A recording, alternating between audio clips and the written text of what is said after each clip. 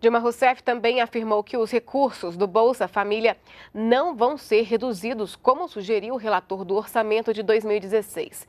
De acordo com a presidenta, o Bolsa Família é prioridade máxima do governo.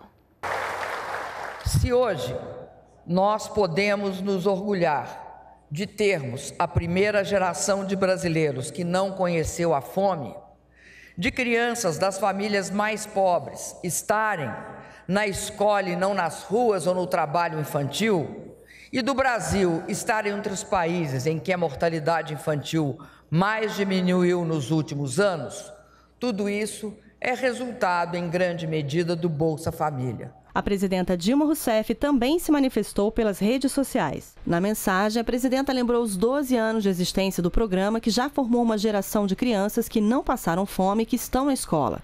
A presidenta também disse que o Bolsa Família mantém 36 milhões de pessoas fora da extrema pobreza e é reconhecido como o maior programa de inclusão social do mundo.